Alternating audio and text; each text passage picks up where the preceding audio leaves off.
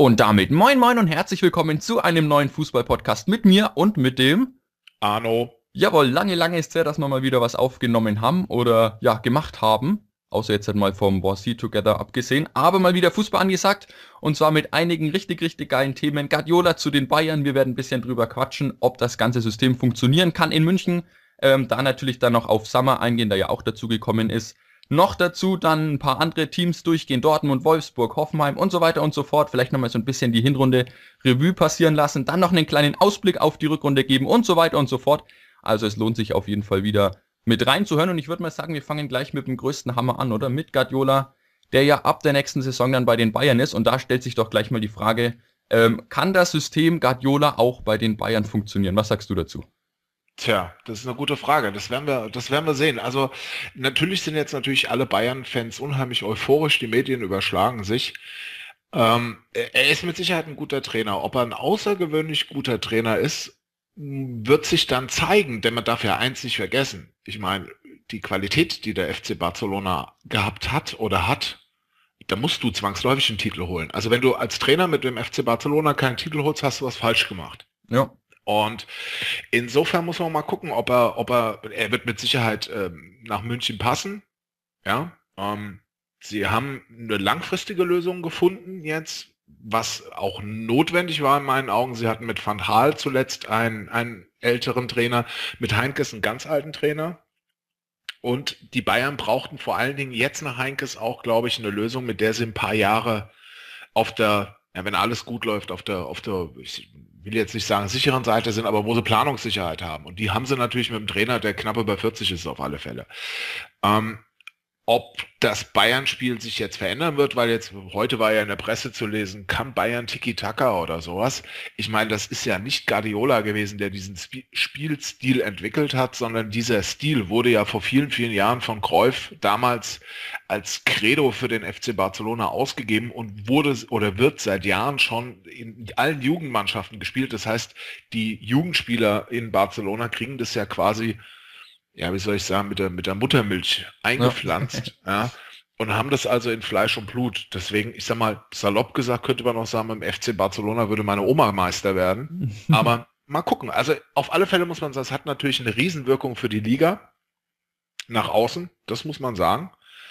Denn in der Presse stand ja drin, dass er wohl Angebote hatte, Italien, England, ja. also alle großen Ligen ja, waren hinter ihm her. Und ich denke mit Sicherheit auch jeder der größeren Vereine und alle anderen ambitionierten Vereine, die, wo ein Trainerstuhl eventuell frei wird ab nächster Saison, haben immer auf dem Zettel gehabt.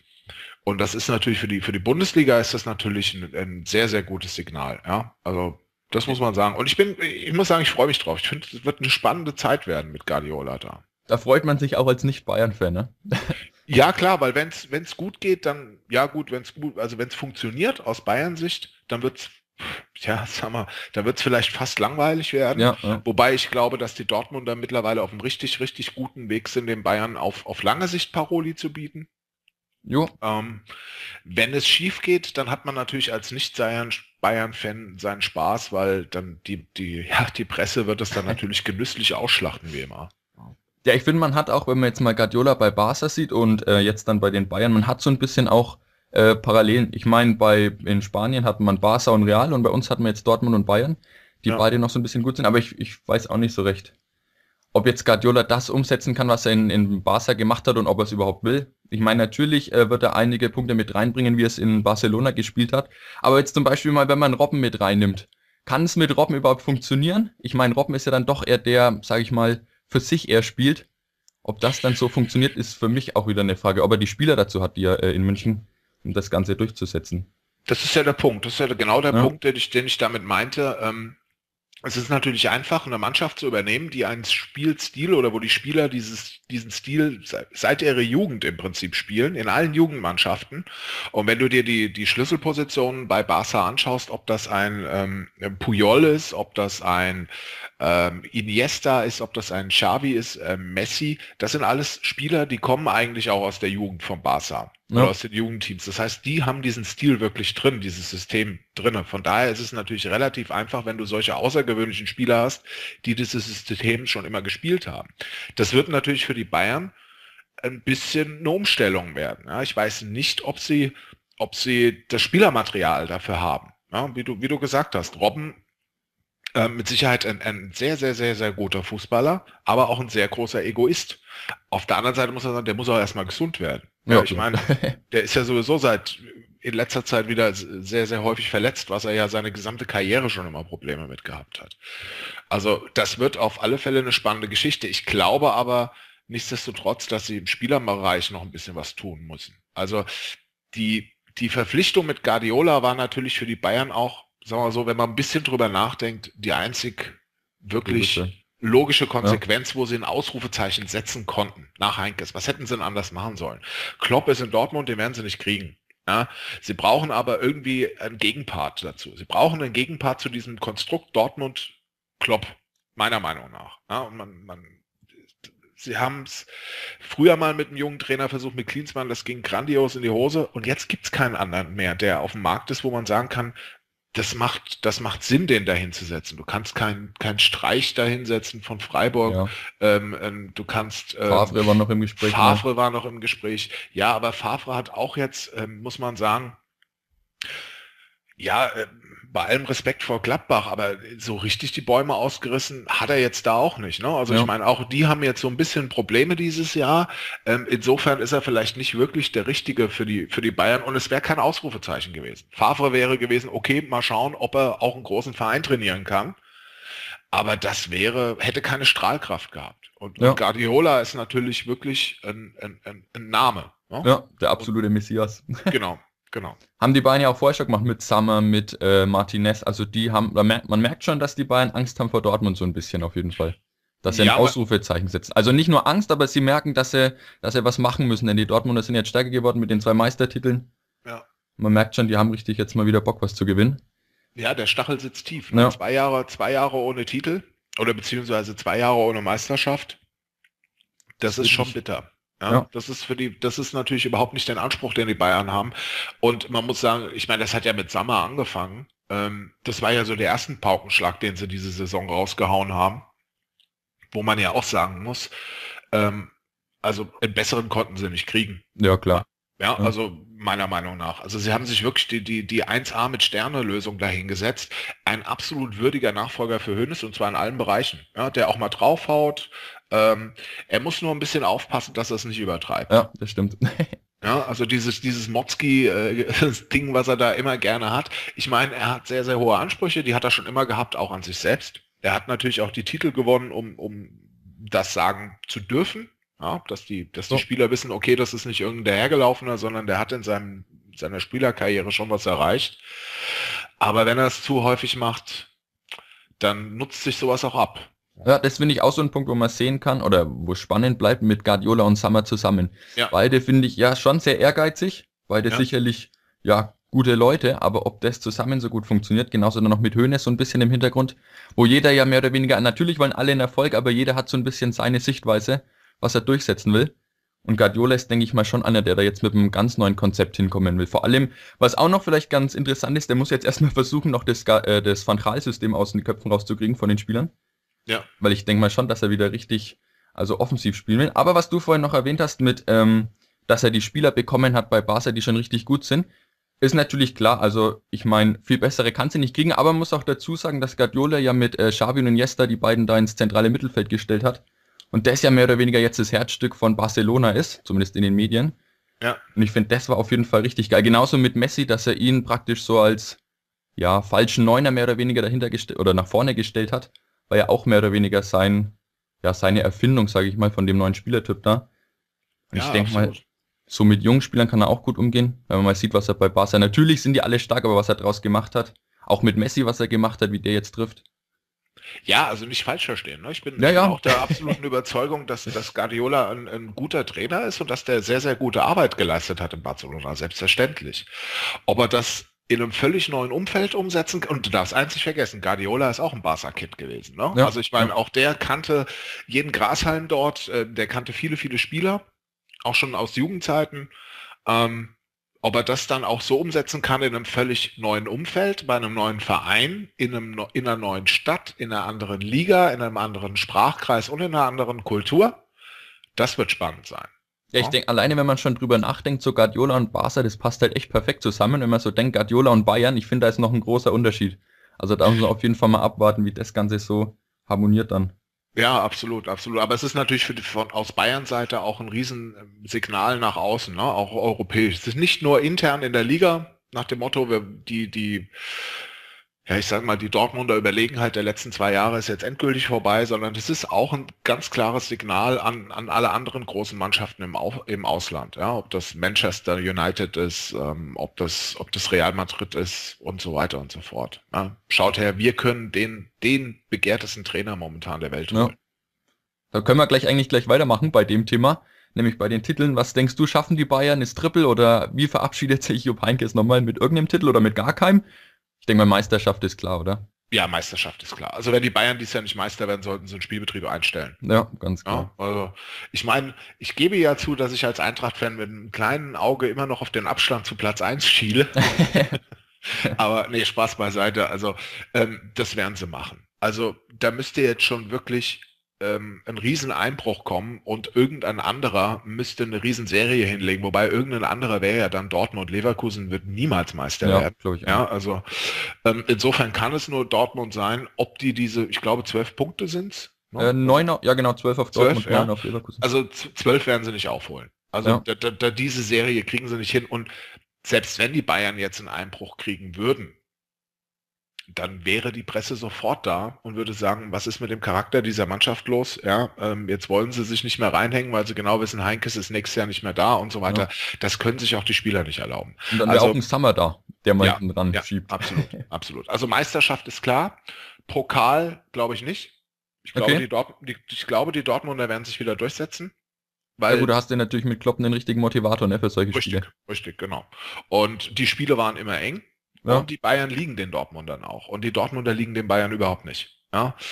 Und von daher glaube ich, dass die, dass die Dortmunder sich da durchsetzen werden im Pokal und die Dortmunder den, äh, Pokalsieg holen. Okay. Wobei man sagen muss, das ist ja sowieso der, der, also aus Bayern Sicht der unwichtigste Titel von allen. Ja, klar. Weil in der Champions League, das könnte was werden. Also, ich meine, sie haben ja jetzt mit Arsenal vermeintlich relativ, in Anführungszeichen, leichtes Los. Ja.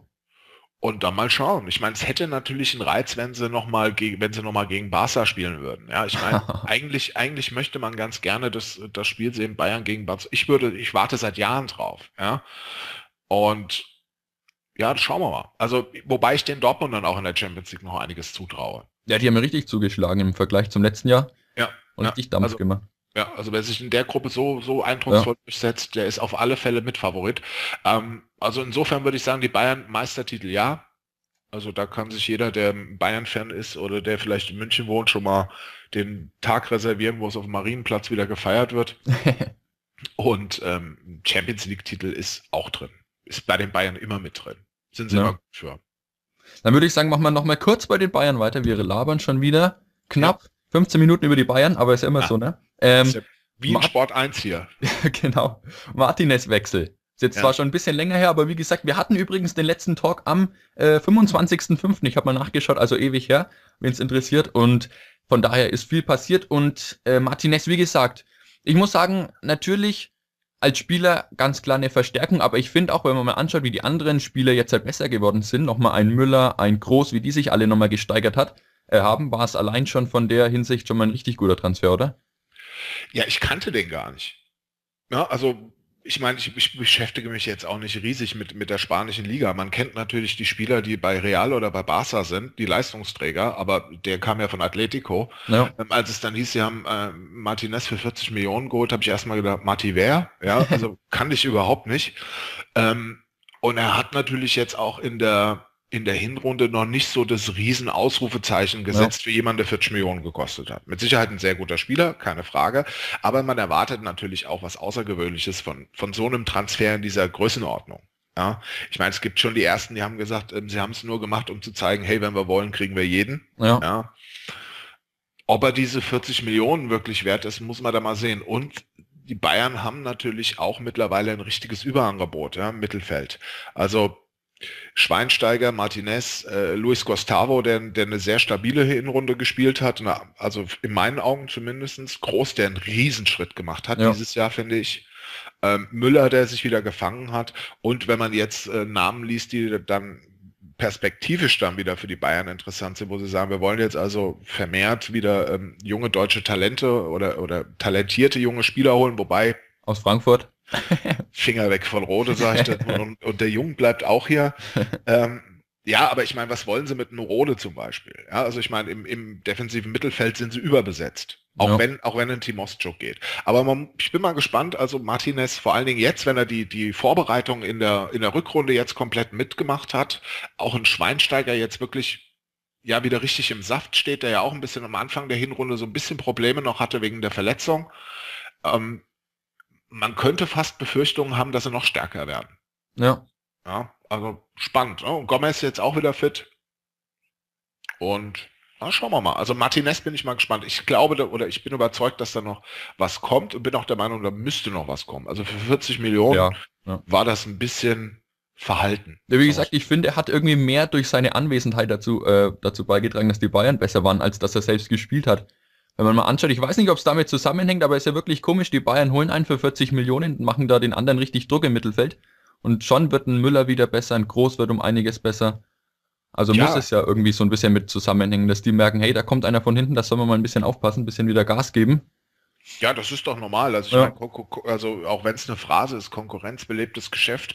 Und das ist aber auch, denke ich, völlig normal, wenn du, ich sag mal so, dein, dein, deine Wohlfühloase hast und weißt, ähm, du, du spielst sowieso und der, der hinter dir ist, übt keinen Druck aus. Ja, weil es vielleicht ja. nur ein Jugendspieler ist und sonst irgendwas, ähm, dann spielt sich natürlich oder legt sich natürlich mit Sicherheit nach einer Zeit so eine ein bisschen Selbstzufriedenheit ein. Ja. ja. Und man, man, man lässt es so ein bisschen vor sich hin plätschern und funktioniert.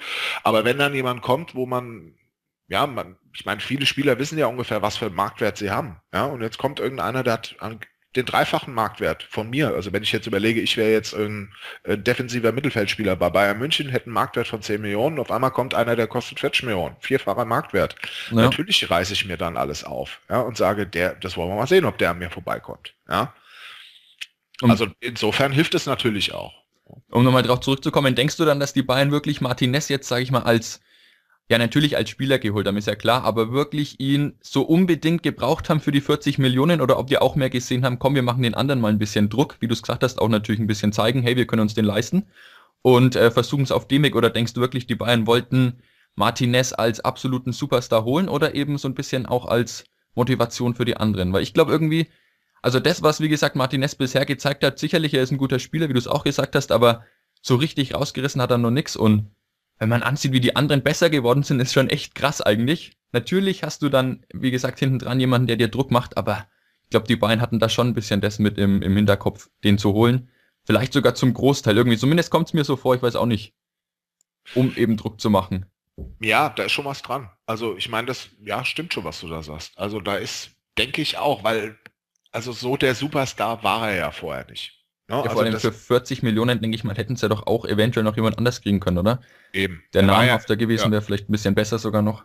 Ja, also wenn es ihnen nur darum ging, irgendeinen Namen zu, äh, zu holen, ja, dann, dann ist es mit Sicherheit, wäre es mit Sicherheit nicht Martinez gewesen. Ja. Mit Sicherheit nicht, weil das war eben, das war ein Name, der war ja mehr oder weniger, sage ich mal, nur Insidern bekannt. Ja, also, oder Insider, die gesagt haben, jawohl, das ist berechtigt, dass man für diesen Spieler so viel Geld ausgibt.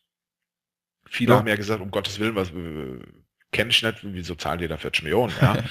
Und äh, natürlich, ich meine, wenn sich ein Verein, ich meine, die Bayern sind wahrscheinlich der einzige Verein in Deutschland, die sich leisten können, äh, so viel Geld auszugeben für einen Spieler, mit dem Hintergedanken, okay, den holen wir jetzt auch, weil wir ein bisschen Druck ausüben ja, wollen. Ja. Ja, nicht nur, also das wird nicht der Hauptgrund gewesen sein, aber das war mit Sicherheit eine Überlegung. Kann ich mir gut vorstellen. Okay, dann würde ich sagen, machen wir an der Stelle mal einen kleinen Break, oder? Und labern ja. mal über was anderes. Wir können ja gleich mal weitermachen mit dem Tabellendritten mit den Dortmundern. Und zwar erstmal, ja, was passt noch nicht so richtig, wie es in der letzten Saison gelaufen ist? Wo hapert es vielleicht noch ein bisschen? Und denkst du, dass Nuri Shahin äh, eine gute Verstärkung war oder ob man da ja einen Schnellschuss gemacht hat? Ob man gesagt hat, komm, der war schon mal bei uns so ungefähr, den können wir schon gebrauchen, aber eigentlich, ich sag mal, so richtig gebraucht haben sie ihn ja eigentlich nicht. Die haben ihn ja mehr genommen, weil er schon mal da war und weil er natürlich auch mit dem Klopp, sage ich mal, gut zurechtkommt. Und der Klopp hat ja richtig gut gespielt in der ersten Saison, wo sie Meister geworden sind dann. Von daher, es macht schon irgendwie Sinn, aber es kam alles dann doch sehr schnell, finde ich. Innerhalb von, keine Ahnung, zwei, drei Tagen war er dann auf einmal da. Und ich weiß nicht so richtig. Vor allem, der war ja ewig verletzt. Kommt er da nochmal so richtig ran zu seiner alten Topform? Und bringt er den Dortmund dann richtig was? Tja, sie wissen natürlich, was sie kriegen. No? Ne? Also ich meine, es ist natürlich, wie sage ich mal, insofern ein Geschäft, das für beide Seiten Sinn macht. Schein weiß, auf was er sich einlässt, weiß, dass er dort mit offenen Armen empfangen wird, dass er dort ein riesen Standing hat und die Dortmunder wissen, was sie kriegen, wenn er in Topform ist. Welchen, ja. Spiel, welchen Typ Spieler sie kriegen. Ich glaube auch, dass die Dortmunder sowieso was hätten im defensiven Mittelfeld machen müssen, weil die Zeit von Kehl langsam zu Ende geht ja. der auch sehr viel verletzt ist, so dass sie da nur noch mit Bender und, und Gündogan zwei Leute haben, mit Leitner ein, ein Backup, aber da fehlt noch was. Ja? Ähm, und insofern macht das absolut, absolut Sinn. Und er war ja in der, in der ersten Meistersaison der Dortmunder eigentlich der überragende Spieler gewesen. Ja. Und ich meine, das ist jetzt ja auch keiner, wo man sagt, seine beste Zeit ist vorbei. Das ist ja ein junger Kerl, der ist 23 oder sowas erst. Ja? ja. Anfang 20, also kann auch sein, dass er 24 ist, ja wurscht, Anfang 20, also ist kein 30, 32-Jähriger. Ähm, insofern aus Dortmunder Sicht absolut Sinn. Macht absolut Sinn der Transfer. Okay. Meiner Meinung nach. Woran das liegt, dass sie dieses Jahr so ein bisschen Probleme haben, ich glaube, sie haben sich ein bisschen mehr auf die Champions League konzentriert nach der Auslosung. Und das nicht so schlecht, ne? Und das nicht so schlecht. Und sie haben natürlich auch, ähm, muss man auch sagen, mittlerweile kennt jeder den Spiel, Spielstil der Dortmunder und ja. die, viele Mannschaften haben sich darauf eingestellt. Und es gibt immer mehr Mannschaften, die das, die das kopieren, ja, diesen Spielstil, den die Dortmunder machen, dieses blitzschnelle Umschalten und man, man merkt, dass sie dann immer ein bisschen Probleme kriegen, wenn sie im Prinzip mit ihrem eigenen System bekämpft werden. Ja. ja. Aber auf, auf Sicht mit dem, mit dem Kader. Ich meine, sie haben Boys geholt, der, der sofort eingeschlagen hat. Ein Götze wird immer besser. Auch der hat ja Anfang der Saison Probleme gehabt mit Verletzungen und so weiter. Und ja, ich meine, sie haben im Prinzip das Problem gehabt, was die Bayern früher oft gehabt haben. Nach dem Turnier haben sie ihre Zeit gebraucht, um reinzufinden. Ja? Die Bayern waren diesmal das erste Mal, glaube ich, seit, seit Jahrzehnten nach einem großen Turnier sofort da. Ja. ja? Und jetzt hat halt die Dortmunder erwischt, aber ja, ich glaube, dass sie, also langfristig gesehen wird der große Rivale für die Bayern sein, was auch gut ist. Also wenn eine zweite Mannschaft dabei ist, die auf Sicht den Bayern Paroli bieten kann, ähm, dann ist es auch eine gute Sache. Ja, auf jeden Fall. Du hast gerade mal angesprochen noch mit ähm, dem offensiven Stil der Dortmunder. Was jetzt ja eigentlich mehr oder weniger genau das Gegenteil ist, ist ja, was die Leverkusener praktizieren, nämlich sich hinten reinstellen und über Konter zum Erfolg zu kommen. Denkst du, dass so ein System mit zwei Trainern, wie es jetzt die Dortmunder haben mit Typier und Lewandowski, dass sowas auf Dauer gut geht oder dass man sowas auch öfters mal in der Bundesliga sehen kann oder ist es mehr so eine kleine Ausnahme? Ich meine, funktionieren tut's ja nicht schlecht, sonst würden sie ja nicht da oben stehen. Ich meine, es ist ja schon richtig geil, was die zwei dann geleistet haben, mit Leverkusen auf dem zweiten Platz zu sein. Aber funktioniert's auf lange Sicht gesehen mit den beiden und funktioniert auch das System bei einem anderen Club in der Bundesliga? Das kommt drauf an. Ich glaube, das kann man so gar nicht sagen. Also ich meine, man darf ja nicht vergessen, dass, dass Hübje und Lewandowski am Anfang der Saison auch gewaltig auf der Kippe standen. Ja. ja denn der, der Start der Leverkusener war ja alles andere als gut gewesen. Und ob das auf Dauer funktioniert, ja, ich meine, momentan haben sie natürlich den Vorteil, sie haben Ruhe, es funktioniert. Kiesling ist in der Überform. Mhm. Ja, das darf man, muss man auch mit berücksichtigen. Was andere Vereine betrifft, ich glaube, das ist eine Typenfrage. Es gibt mit Sicherheit Typen an, an Mensch, der sowas kann oder Menschen, die sowas können. Es wird aber auch viele geben, die das nicht mit sich machen lassen, ja, oder die nicht die Typen dafür. Also du brauchst wirklich zwei Leute und das scheinen ähm, Typ hier und Lewandowski zu sein, die gute Teamplayer sind. Ja. Und das funktioniert nur, wenn du zwei Leute hast, die wirklich gute Teamplayer sind. Und solange intern sind wohl die, die Claims klar abgesteckt, wer hat was zu sagen, wie und wer macht was, und die zwei das so akzeptieren und damit umgehen können, dann funktioniert das. Aber man, ja, ich meine, es gibt ja jetzt schon den einen oder anderen Verein, der versucht in dieselbe Richtung zu gehen. Weiß ich nicht, ob das so gut ist. Also natürlich neigt man dazu zu sagen, okay, was da funktioniert, funktioniert bei uns auch, nur halt mit anderen Namen. Weiß ja. ich nicht. Hängt, ist eine Typenfrage. Ja, der Club macht es ja auch mehr oder weniger. Jetzt ja. mit Wiesinger und Ding.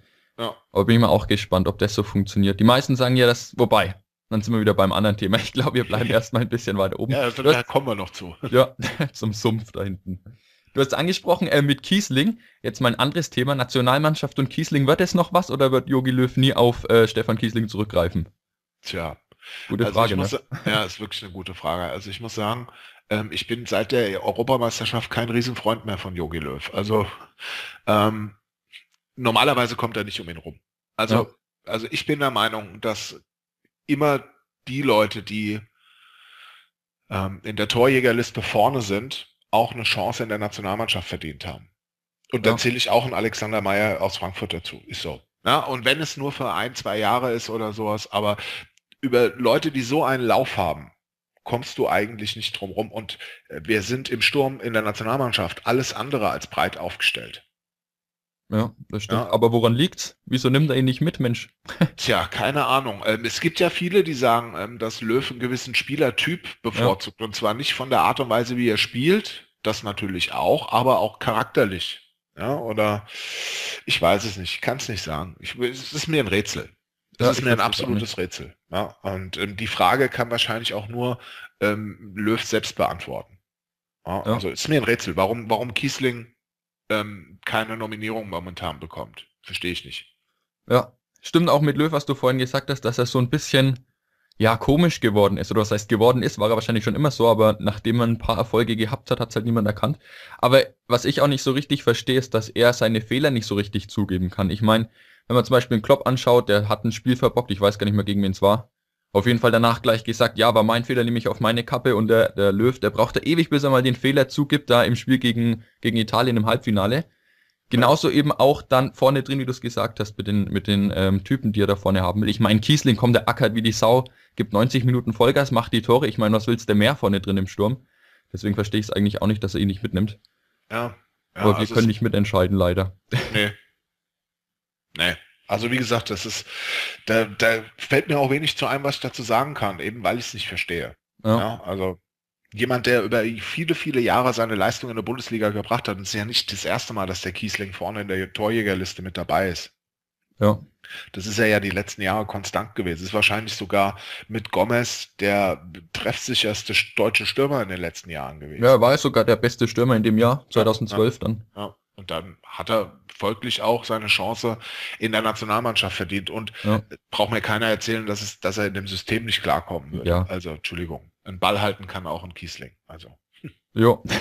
dann würde ich mal sagen, machen wir mal weiter mit dem vierten, fünften und sechsten Frankfurt, Freiburg und Mainz. Wieso stehen solche Vereine da oben? Kannst du mal Frankfurt als Beispiel hernehmen?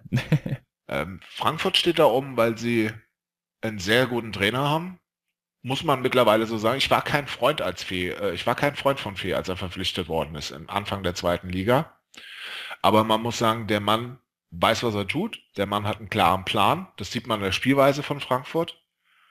Ähm, sie haben sehr gut eingekauft was an der Personalie Hübner in erst, also an dem Sportdirektor in erster Linie liegt, der sich in der zweiten Liga auskannte, wie sehr, sehr gut auskannte, wahrscheinlich die alle Spieler auf dem Zettel schon hatte, aber nie nach Duisburg zum Beispiel holen könnte, wo er herkam. Ja. Und jetzt die Möglichkeiten hatte, sie zu holen. Und natürlich gehört ein bisschen Glück dazu, dass die Spieler so einschlagen, ja, dass ein, dass ein Eigner, dass ein Inui so einen Lauf kriegt, ähm, dass ein Ochipka sich wieder, äh, ich meine, es sind alle Spieler, wo man wusste, okay, die können kicken. Ein Ochipka hat in, in St. Pauli schon gut gespielt. Ja. Galt als eines der größten Talente in der Linksverteidigerposition, hatte Leverkusen dann Pech mit dem Knöchelbruch, kam dann nicht mehr an, an Cutlets vorbei. Das war eine Wundertüte, ja, also es hätte auch schief gehen können. Die, die mussten sich alle erst noch beweisen und natürlich hat man dann auch ein System gefunden, was zu dieser Mannschaft passt. Und sie haben natürlich auch mit dem ersten Punktspiel gegen Leverkusen, was sie dann gewonnen haben, und dann das zweite Spiel in Hoffenheim 4-0 gewonnen, dann hast, dann kriegst du einfach einen Lauf. Ja, ja und dann, dann war vieles Selbstläufer, dann hat man gesehen, ähm, sie haben dann Probleme bekommen, als Mannschaften sich nur hinten reingestellt haben, ja, weil am Anfang alle Mannschaften gegen die Eintracht gespielt haben, ach komm, das ist ein Aufsteiger, da spielen wir nach vorne. Und das war ja. genau das, auf was sie gewartet haben. Ja. Ähm, und dann kam natürlich auch die, die, die Anerkennung von anderen. Ich meine, ähm, Klopp hat nach dem Spiel der Dortmunder hier in Frankfurt gesagt, das war das beste Umschaltspiel, was er von der gegnerischen Mannschaft jemals gesehen hat. Ja. ja. Ähm, die Stimmen nach dem Auftritt in München waren, ähm, die Eintracht war der stärkste Gegner, den die Bayern dieses Jahr zu Hause hatten. spielerisch gesehen, ja, vom System her. Ähm, jetzt muss man natürlich gucken, wie das jetzt in der Rückrunde abläuft. Ne? Die Mannschaften, man merkte auch zum Ende der Hinrunde, die immer mehr Mannschaften stellten sich auf ihren Spielstil ein. Dann wurde es immer schwerer. Und jetzt muss man mal gucken. Also ist nicht der Anspruch der Eintracht da oben zu bleiben, aber es wäre natürlich ein Riesenbrett. Ja, also Okay. Champions League Qualifikation als Aufsteiger, also meine Herren. Also ich muss sagen, ich hatte eine sehr, sehr angenehme, sehr, sehr schöne Hinrunde im Stadion. Ja, mh, naja. Also ich hatte aber auch anderthalb Jahre Scheiße zu sehen. Ne? Also das Okay. darf man auch nicht vergessen. Mainz, ähm, um da mal auf Mainz gleich zu kommen, Mainz und Freiburg und dann nehme ich beide einfach mal zusammen, liegt beides am Trainer. Ja, hätte ich auch gesagt. Streich Also- und Tuchel. Ja, absolut. Ich meine, es gibt viele Leute, die können Tuchel nicht leiden. Ja, denen ist er unsympathisch und sonst was. Ich bin auch kein Freund, ich würde mit denen kein Bier trinken gehen, aber ich bin der Meinung, dass es ein hervorragender Trainer ist. Ja, Und der Streich ist einfach jemand, den muss man geil finden. Diesen Ja. Psychopathen, ja, ja, also Psychopathen wirklich positiv, ja. Äh, ich bin ein Riesenfan von diesem Typen. Ja, also den finde ich richtig klasse. mhm. Das ist aber wirklich Trainer. Ja? Und ich, meine Meinung war schon immer, ein Trainer kann dir wirklich viele, viele Punkte bringen in der Saison. Die Frage ist nur, kann so ein Trainer, jetzt nochmal um auf ein anderes Thema zu kommen, ähm, so ein Trainer auch bei einem großen Verein gut sein? Was denkst du, also ein Streich zum Beispiel bei Dortmund nach Klopp, sagen wir jetzt einfach mal, wenn es so kommen würde. Kann er da genauso erfolgreich sein oder brauchst du da eher einen, der, ja, wie soll man es ausdrücken, so ein bisschen nicht professioneller, aber ich meine, Streich in Freiburg, das ist ein, ein eher kleiner Bundesliga-Verein, ein verrückter Typ, das passt halt perfekt zusammen. Gut, Klopp ist auch ein verrückter Typ bei Dortmund, von daher könnte es eigentlich auch passen. Aber denkst du, ein Streich oder auch ein Tuchel könnte es bei einem großen Verein in Deutschland schaffen? Das weiß man nicht. Also ich meine, es gibt ja viele, die damals gesagt haben, Klopp außerhalb von Mainz funktioniert nicht. Ja. Und er hat alle, er hat es eindrucksvoll widerlegt. Ähm, schwer zu sagen. Ich glaube, das hängt natürlich auch immer davon ab, welche Erwartungshaltung hat der vermeintlich größere Verein, wenn er die Leute holt. Müssen die Leute sofort Ergebnisse bringen? Oder gewährt man ihnen ein Jahr Aufbauarbeit? Ja. Mal schauen. Ich meine, Tuchel ist ja in der Verlosung ähm, Schalke mit drin. Mhm. Und Schalke hat natürlich ein extrem unruhiges Umfeld.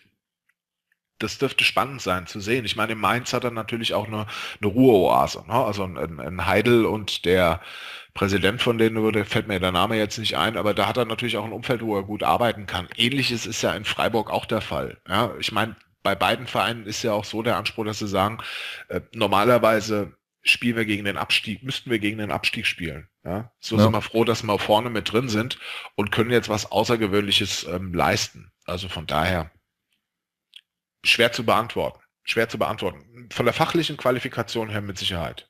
ja. Beide. Dann würde ich sagen, machen wir gleich weiter. Mannschaften, die eher vorne mit dabei sein müssten. Schalke, wen nehmen wir noch mit? Nehmen wir noch Hamburg mit und Bremen vielleicht. Ja. Bei allen drei hapert so ein bisschen. Ne? Ich meine, Schalke, was denkst du, werden die die Saison noch einigermaßen gut schaffen und wird's überhaupt da dieser, wie heißt denn der, Jonker? Nee, Schmarrn, das war ein anderer, oder? Nee, Der- das der war der, Trainer? der, der, ähm, ah, der Hamburg mal trainiert hat. Okay, ja, mir fällt jetzt gerade der Name Mir nicht fällt der ein. Name auch nicht ein. Egal, wird der es schaffen, die Ja. Schalke oben, beziehungsweise wieder nach oben zu führen, beziehungsweise wird er überhaupt die Saison noch überstehen bei Schalke oder wird er auch demnächst entlassen? Ich meine, Trainingslager Jetzt- war jetzt nicht überragend, dann das 0-5 gegen die Bayern in der Vorbereitung. Gut, sagt natürlich jetzt nicht so viel aus, schon ein bisschen was, aber nicht alles, aber wird schwierig für ihn, oder? Ja, es ist ja Keller, ist ja jetzt. drin. Keller, so heißt er genau. Genau, genau. Keller ist ja jetzt äh, der Jens Keller. Ähm, ja, ist, glaube ich, eine Charakterfrage der Mannschaft. In meinen Augen. Also vom Spielermaterial her müssten sie viel weiter oben stehen.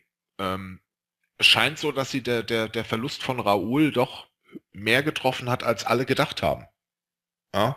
Ja. Ähm, sie haben natürlich das Pech gehabt, dass Affelay, den sie aus Barcelona ausgeliehen haben, jetzt wieder lange verletzt ist. Ähm, sie haben viel Unruhe gehabt mit und haben jetzt viele Unruhe mit, mit, mit Holtby, ja, der zum Ende oder vielleicht jetzt sogar schon geht. Ja, das weiß man, steht ja immer mal wieder, wabert so als Gerücht da durch die Gegend, dass sie ihn vielleicht Ja. jetzt schon abgeben. Was ich persönlich der Meinung bin, wäre wahrscheinlich das Sinnvollste. Ähm, denn der wird keinen leichten Stand bei den Fans Ja, haben. Und Fall. wenn er dann irgendwie ähm, gleich anfängt mit schwächeren Spielen, dann hat sich das Thema sowieso erledigt. Ja. Ähm, ich finde ihn auch ein bisschen überhyped. Ja, Jo. also ein bisschen überwert läuft das Ganze. So überragend finde ich ihn jetzt auch wieder nicht. Er hat ein paar gute Spiele in Mainz damals gezeigt. Er hat auch in, in Schalke ein paar gute Spiele gezeigt, aber jetzt von Konstanz war jetzt da noch nichts zu sehen. Ähm, Sie haben Raphael jetzt ausgeliehen. Da weiß man, dass das ein guter Spieler ist. Und den Rest müssen wir mal gucken. Ich meine, Hünteler wird auch nicht immer alles rausreißen können. Ne? Und ja. hat jetzt wieder einen, einen, Vertrag bekommen. Vielleicht fängt er sich, vielleicht macht ihn das erst recht träge. Also schwierig zu sagen. Äh, Papadopoulos ist, glaube ich, auch jetzt länger verletzt. Kann sein, oder, ja. Oder gesperrt oder sowas, ein wichtiger Mann hinten drin. Und sie haben ein Problem auf der Torwartposition. Jo. Da fehlt ihnen einer, der ihnen mal ein paar Punkte holt ja, oder ihnen ein paar Punkte rettet.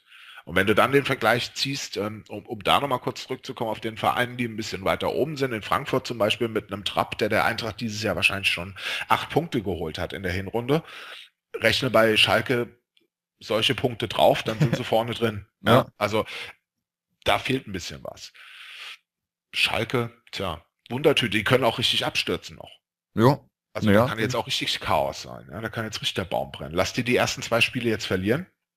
Ja, die haben ja nicht, die haben fünf Punkte auf, dem, auf die Champions League und sechs Punkte auf dem 15. Ja. Ich mein, nee, doch sieben. Nee, sechs. Also ist nicht viel Unterschied. Bist du ruckzuck drin. Ja. Dann würde ich sagen, mach mal weiter mit einem Verein, der einen richtig guten Torhüter auch hat, und zwar der HSV mit Adler. Hast du gedacht, dass Adler so stark wird beim HSV? Also ich muss sagen, ich war schon ein bisschen überrascht, dass er wieder so stark, zumindest so schnell gleich so stark geworden ist. Also, dass er, dass er wieder stark wird, habe ich mir schon gedacht. Dass es so schnell ging, hat mich auch ein bisschen überrascht. Ja. Ähm, und ja, also ich glaube auch, er wird nicht lange in, ha in, Hamburg bleiben, wenn er so weiter die Leistung bringt. Denn der, die Hamburger werden mit Sicherheit nicht in die internationalen Plätze reinrutschen. Glaube ich nicht. Okay. Dafür, die, dafür sind sie einfach nicht, dafür sind sie hinten nicht gut genug. Ja, dafür sind sie in der Abwehr zu schwach. Ähm, Van der Vaart wird ihnen nicht immer die Punkte retten. Der Junge hat genug private Probleme momentan selbst. Jetzt ist er angeblich schon wieder zusammen mit ihr. Ja, das war alles PR. Alles PR.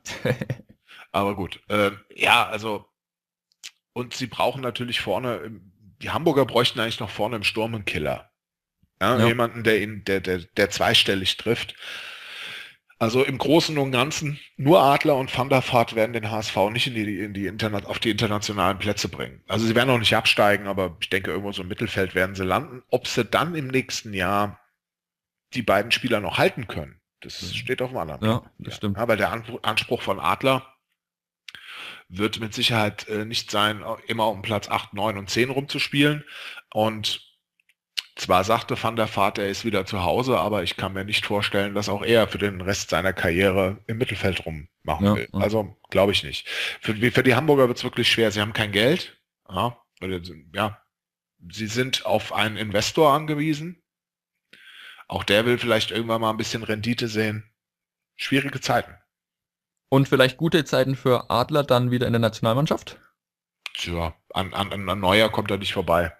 Okay, ja, eigentlich war er ja von Neuer bis zu seiner Verletzung vor. Keine ja, zwei das Jahren war sein Pech. Ne? Ja. Das muss man halt wirklich sagen, das war halt wirklich sein Pech. Und das ist halt das Los, was die, die, deutschen Torhüter haben momentan, diese Generation, dass es so viele sehr gute sind. Das ist ja. vollkommen egal. Ich meine, der, theoretisch kann Löw, ob er Neuer, Adler, Trapp, äh, ähm, Ter Stegen ins Tor stellt, spielt keine Rolle. Das spielt keine Rolle in meinen Augen. Die sind alles Jungs, die sind mehr oder weniger auf einem Niveau. Ja. Und Neuer hat den Vorteil, dass er zwei Turniere gespielt hat, dass er die zwei Turniere anständig gespielt hat mit guten Leistungen und dass er bei den Bayern spielt. Ja, so. das sowieso. Ja. Dauerhaft international. Ja. Was nicht heißen soll, dass Neuer kein guter Torwart ist. Absolut nicht. Aber ich sehe halt ihn nicht als den außergewöhnlichen. Ich meine, das ist das Gleiche. Lehmann war auch mit Kahn auf einem Niveau. Und er kam trotzdem nie an ihm vorbei. Ja. ja. Erst in der Endphase dann, aber. Ja. Okay, dann würde ich sagen, gehen wir mal ganz runter. Wer steigt ab? Momentan Hoffenheim, Augsburg, Fürth. Wolfsburg kämpft noch ein bisschen. Naja gut, die sind schon ein bisschen weg. Der Club auch ein bisschen weg. Aber stehen die Absteiger schon fest, sprich Augsburg und Fürth direkt runter und Hoffenheim in die Relegation? Oder geht da noch irgendwas für irgendeinen von den drei Mannschaften? Tja, wenn ich, wenn ich, wenn ich drei Wünsche frei hätte. Wolfsburg, Hoffenheim und äh, und irgendjemand. Aber Hauptsache Wolfsburg und Hoffenheim steigen ab. ähm, also ich, äh, für Augsburg und Fürth wird es natürlich mehr als schwer. Also ja. das war fast schon offensichtlich gewesen, dass es die Augsburger ja erwischt. Fürth, ja, erstaunlich, dass Fürth als vermeintlich bester Aufsteiger, denn sie sind ja Zweitligameister geworden, dann ja. der schlechteste Aufsteiger nachher geworden ist mit den wenigsten Punkten. Da hätte ich eher die Fortuna erwartet, aber gut, die haben eine riesen Hinrunde gespielt. Ja. Also ich glaube, Fürth und Augsburg sind weg und ich glaube auch nicht, dass Hoffenheim da unten rauskommt. Ja, momentan sieben Hoffenheim Punkte auf, auf ja. Wolfsburg. Ja, Hoffenheim wird in die Relegation gehen. Wolfsburg wird es leider schaffen, aufgrund des Spielermaterials. Ja. Leider, muss man wirklich sagen. Ähm, und ich glaube aber, dass Hoffenheim in die Relegation geht. Wobei, sagen wir mal so, ich habe die Befürchtung, dass der Club da unten noch einrutscht. Oh, ja, ja, ja, der Hacking ist doch weg. Stimmt auch wieder. Oh. Ja, ich weiß nicht, bin ich mal echt gespannt. Ich kann auch wirklich, also gut, der Wiesinger war ja schon der Trainer bei der zweiten Mannschaft und hat es ja nicht so schlecht gemacht, aber ob er dann für die erste, ob es da reicht, ob er da so ein bisschen auch die Autorität hat, weiß ich nicht. Bin ich mal gespannt. Wobei ja die ganzen Spieler sagen, es ist irgendwie genauso wie bei Hacking. Der spielt genauso, hat genauso, oder ist derselbe Typ mehr oder weniger. Von daher, das stimmt einen ja positiv, aber ob es dann letztendlich auch klappt, ich weiß es auch nicht. Gott sei Dank ist er schon acht Punkte weg, dann haben wir zumindest mal ein bisschen Ruhe. vom Abstieg. Jetzt ja. am besten einigermaßen gut reinstarten, ein paar Punkte holen jetzt gegen Hamburg, dann ein Pünktchen vielleicht. Ich glaube, auswärts oder zu Hause, ich weiß es gar nicht. Auf jeden Fall da vielleicht ein Pünktchen mitnehmen, dann wäre es nicht schlecht und dann das nächste gewinnen oder so. Gleich mal am Anfang wegziehen. Aber also ich glaube nicht, dass er noch unten reinrutscht, der Club.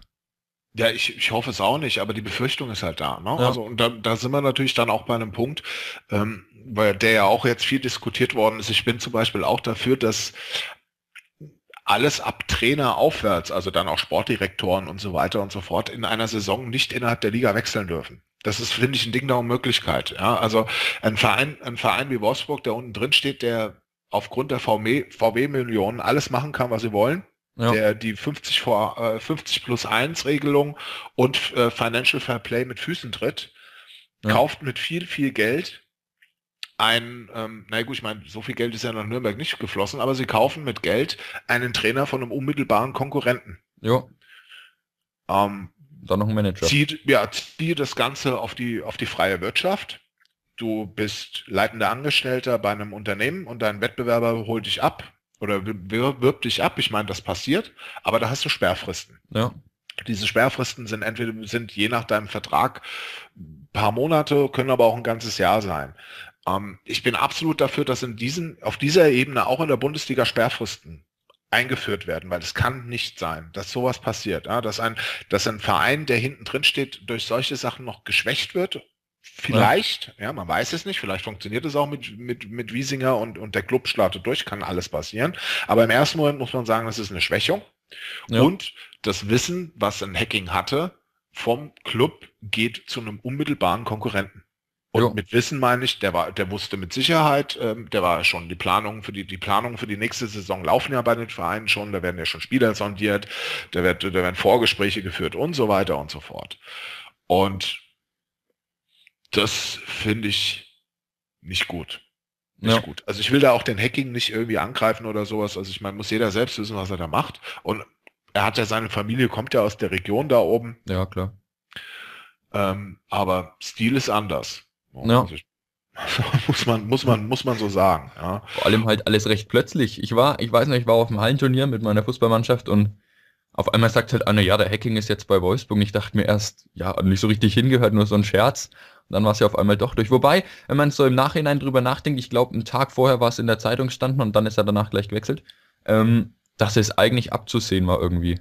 Ich meine, er hat gemerkt, er hat mit äh, Alofs einen hinten dran, der gut Ahnung hat, äh, Ahnung hat, er hat viel Geld, äh, zur Verfügung noch dazu. Dann sicherlich eine Mannschaft, die nicht so schlecht ist, freilich muss er die erstmal in den Griff kriegen, aber die nicht so schlecht ist. Und noch dazu die Familie, die in der Nähe ist. Ich meine, da spricht er eigentlich alles dafür. Noch dazu verdient er wahrscheinlich mehr, oder das heißt wahrscheinlich auf jeden Fall mehr.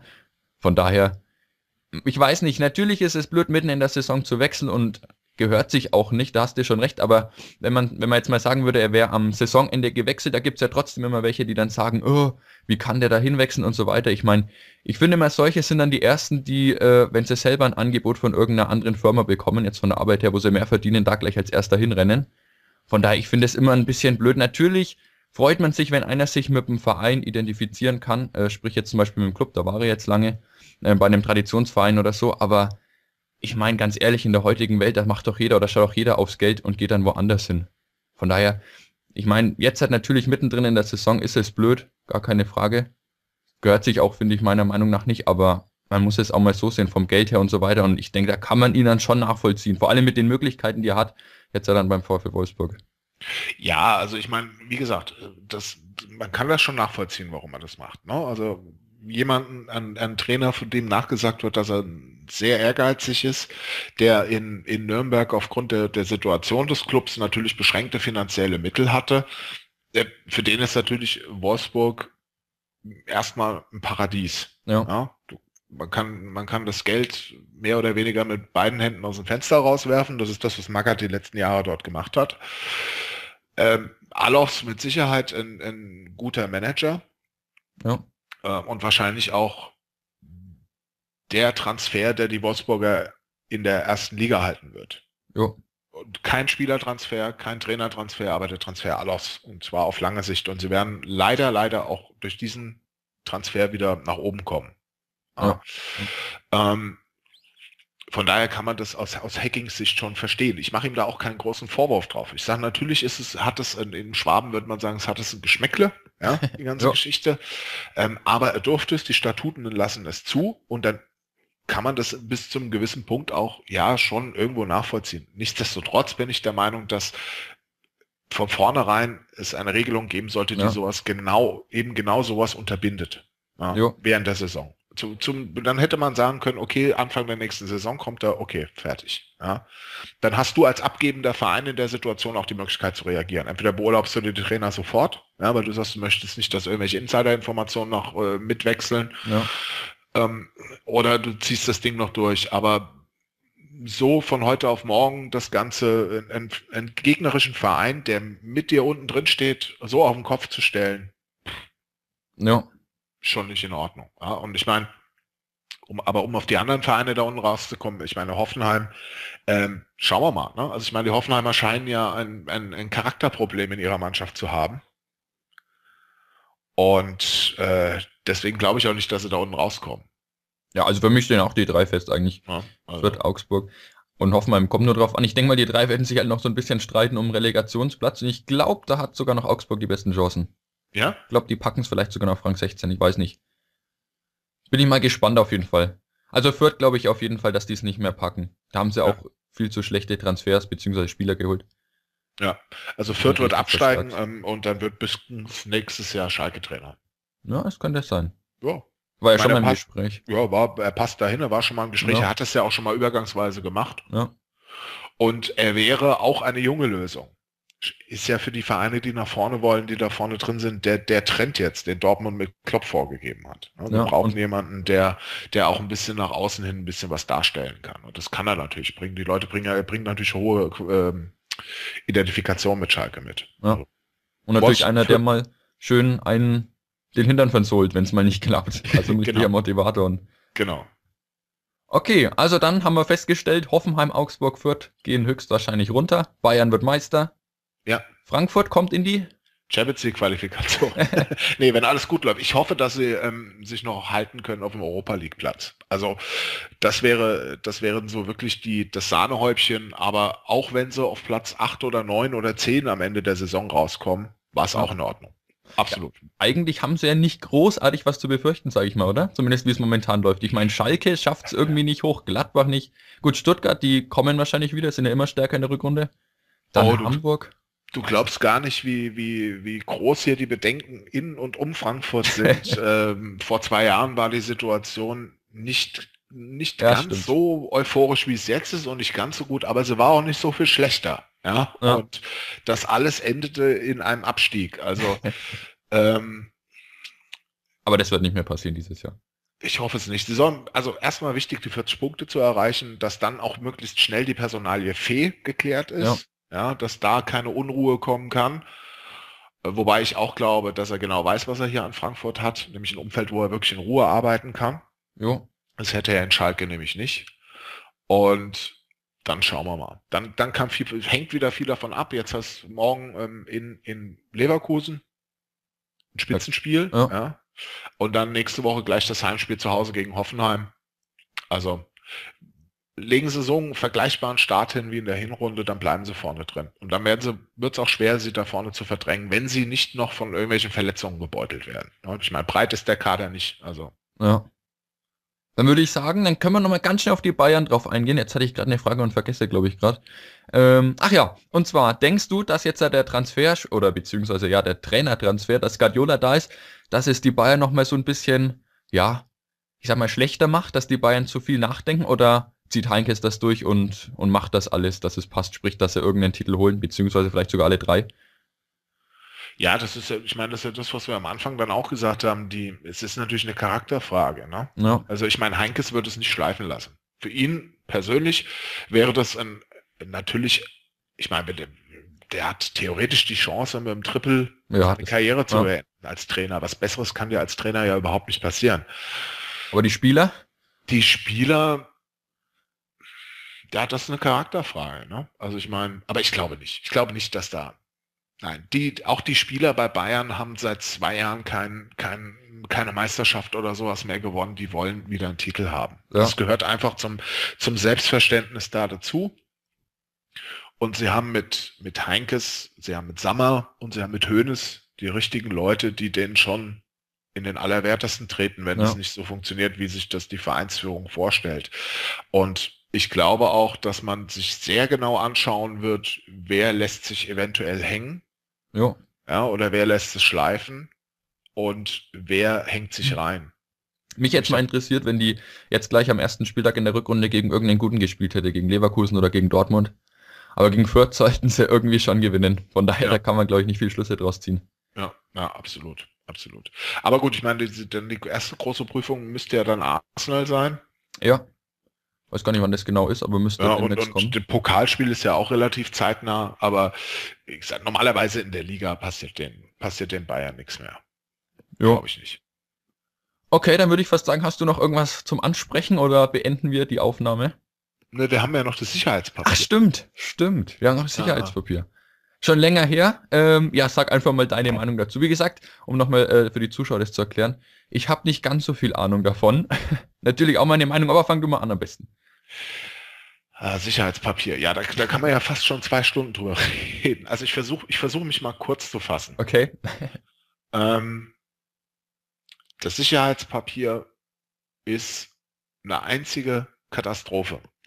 Das Sicherheitspapier wurde gemacht, weil irgendwelche geltungssichtigen Politiker der Meinung waren, sie müssten jetzt hier den Hardliner spielen auf Kosten des Fußballs.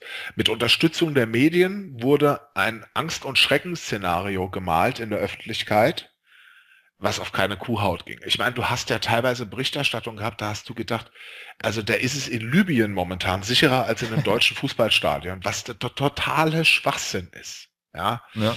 Ähm, mit Sicherheit ist es so, dass Gewalt bekämpft gehört. Ja, da bin ich auch sofort dabei. Da bin ich auch ein Freund davon. Ähm, allerdings sollte man nicht alles sofort mit Gewalt und neue Dimensionen und noch irgendwas machen. Ähm, es ist so, dass ich viele Sachen, die in diesem, in diesem Sicherheitspapier drinstehen, für bedenklich halte, was wirklich auch Menschenrechte betrifft. Ja, also dieses, dieses ein, dieses mögliche unter Arrest stellen von Leuten nur auf Verdacht, Schnellgerichte einzuführen, dass Leute sofort verurteilt werden können. Ja. Und diese berühmten Nacktzelte, wo sich Leute ausziehen müssen, ähm, finde ich ein bisschen grenzwertig. Das wäre genau derselbe Fall und mit Sicherheit werden hier, ähm, ich versuche das jetzt ein bisschen so unpolitisch wie möglich mich auszudrücken. Es wäre genau dasselbe, wie wenn einer von uns beiden, wenn einer von uns beiden Moslem wäre. Wir würden an einen Flughafen gehen, würden in die USA fliegen wollen. Und irgendjemand würde uns sagen, ihr seid Moslem, ihr geht bitte darüber ins Zelt, zieht euch aus, wir durchsuchen euch, weil dadurch, dass ihr Moslems seid, könntet ihr ja theoretisch Terroristen sein. Ja. Also es wird eine, eine, eine Gruppierung, in dem Fall werden es, äh, nenne ich jetzt einfach mal Fußballfans, Gruppierung, unter Generalverdacht gestellt. Erstmal. So. Und das ist eine Sache, die ich sehr, sehr bedenklich finde. Ja, dann gibt es ja die Möglichkeit, äh, gibt es ja noch die Sachen, wo gesagt wird, also personalisierte Tickets, ja, Daten, Gesichtsscanner und sonstige Sachen. All das sind ja Daten, die irgendwo gespeichert. Was passiert mit diesen Daten? Ja? Das heißt ja, die Daten werden gelöscht, wenn die Leute nichts gemacht haben. Ja. Gesagt werden kann viel. In meinen Augen hat die Liga sich da zu sehr von der Politik unter Druck setzen lassen. Und das war ein Ding, das kam von den Innen, von einigen Innenministern und es war im Herbst Mode gewesen, dass man als Innenminister ähm, radikale Maßnahmen gefordert hat. Das war in, das hat jeder Innenminister gemacht und jeder war der Meinung, er muss nochmal einen draufsetzen, um zu zeigen, was für ein toller Hengst er ist. Ja.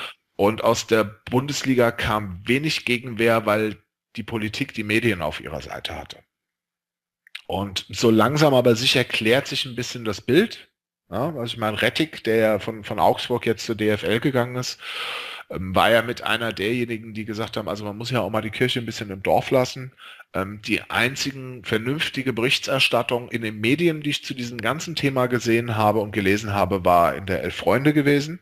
Das in meinen Augen sowieso das beste Fußballmagazin ist die waren die einzigen, die sich damit ein bisschen objektiv auseinandergesetzt haben, die das Ganze ein bisschen im Verhältnis gesehen haben. Natürlich gibt es ein Problem ähm, hier und da mit Gewalt, aber das Problem gibt es nicht in der ersten und zweiten Liga. Das Problem gibt es in den unteren Klassen. Und das weißt du besser als ich, mit Sicherheit, oder? Ja, also oh. es, da kann man wirklich nur aus Erfahrung sprechen bei manchen Spielen, wenn man dabei ist. Oder auch so, ich habe, ich weiß gar nicht, wo es ein Artikel war, irgendeiner Zeitung auf jeden Fall, wo auch mal, ähm, oder im Internet glaube ich war es sogar, wo auch mal viele, viele Beispiele gezeigt wurden, wie es in den unteren Ligen abgeht, wie da die Schiedsrichter und so weiter niedergemacht werden, wie die Zuschauer randalieren und so weiter. Ja. Wo man sich auch denkt, was geht da ab und was sich dann natürlich auch so ein bisschen nach oben mit durchträgt, mehr oder weniger. Ja, ich, mein, die, ich, mein, ich sag ja. mal jetzt die ganzen Fans, die in den unteren Klassen mit der zuschauen, äh, zuschauen, sprich irgendwie, keine Ahnung, Kreisklasse oder sonst was, das sind doch mehr oder weniger die radikalsten Fans, was jetzt so vom, vom sich äußern äh, ausgeht, sagen wir mal, was sie äh, von sich geben und so weiter. Sprich, was die da aufs Spielfeld brüllen und so weiter. Ähm, das, das sind ja die im Stadion richtig normal, sage ich mal, im Gegensatz zu denen.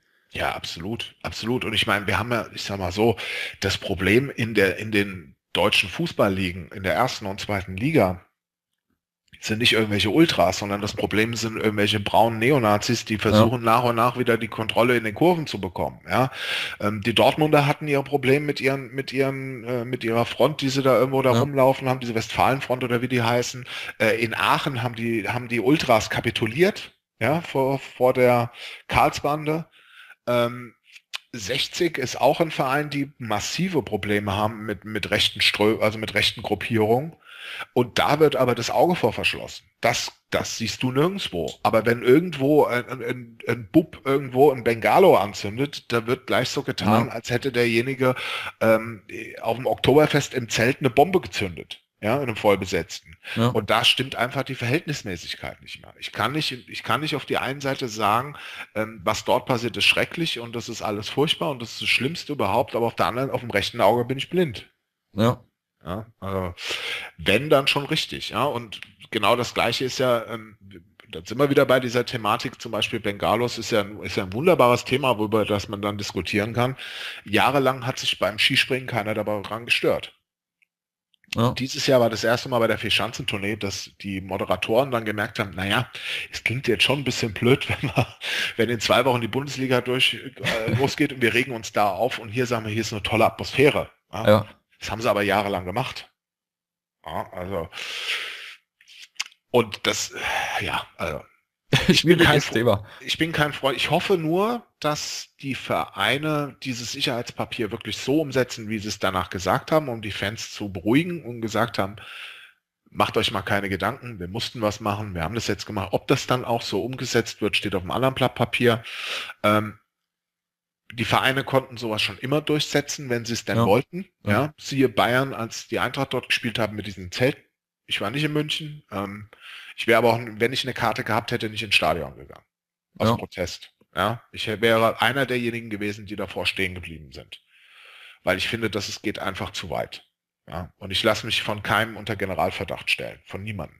Ja. Und ja, ich finde es ein bisschen bedenklich, dass, dass, dass solche Sachen einfach von außen gesteuert werden können, ohne dass derjenige, der dort, ich nenne es jetzt mal der Veranstalter ist, in dem Fall die Liga, wirklich eine Möglichkeit hat, sich zu wehren. Das hatten sie nicht. Ja. Sie hatten keine Chance, sie mussten was machen, das haben sie getan. Jetzt kommt, glaube ich, demnächst, kommt, glaube ich, dieses Wochenende ist, glaube ich, so eine Initiative von, von allen Fernsehsendern und allen Berichterstattern zu diesem Thema Gewalt. Gewalt hat keine Chance oder irgendwie so. Ich glaube, morgen Abend gibt's im, im Sportstudio dazu eine okay. Diskussionsrunde. Die werde ich mir mal anschauen. Denn sie hatten das vor ein paar Monaten schon mal gemacht. Das war erstaunlich objektiv gewesen fürs okay. ZDF. Also war wirklich erstaunlich objektiv gewesen.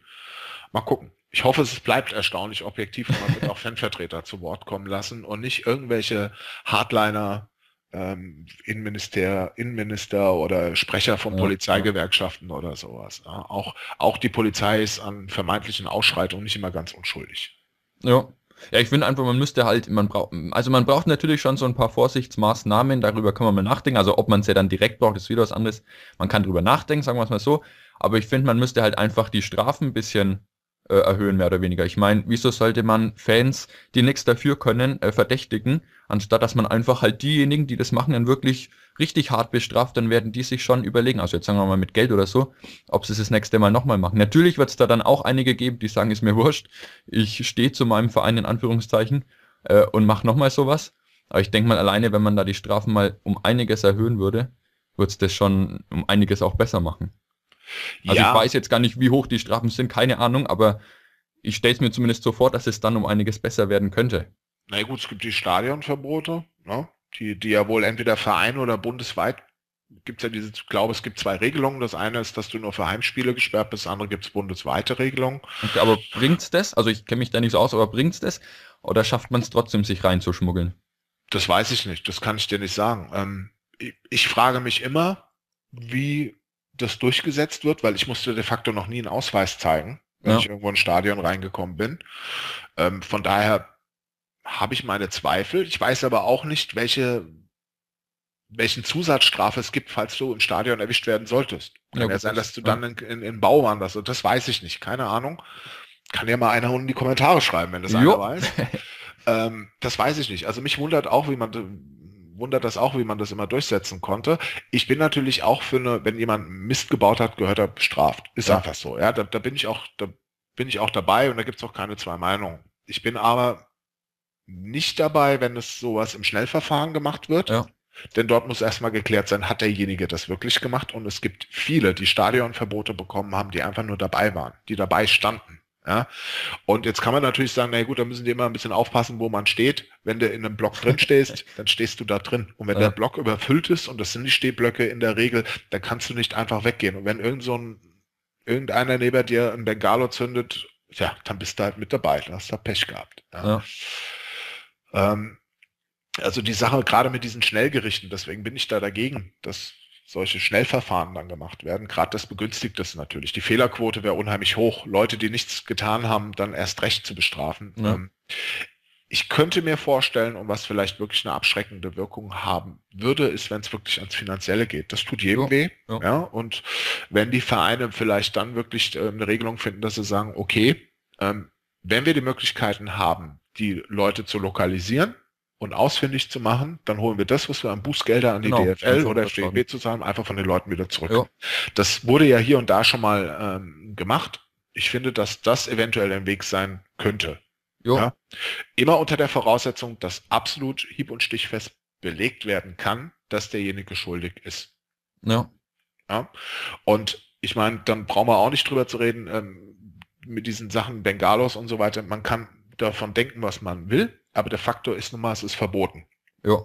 Ja, es fällt unter Sprengstoffgesetz und das Sprengstoffgesetz verbietet das.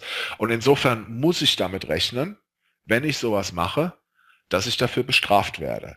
Wenn ich mit 100 durch die Stadt fahre, muss ich damit rechnen, dass mir jemand einen Führerschein abnimmt, wenn ich erwischt werde. Ja. Ja, also das ist im Prinzip nichts anderes, auch wenn ich gerne mal mit 100 durch die Stadt fahren würde. Aber es ist halt verboten.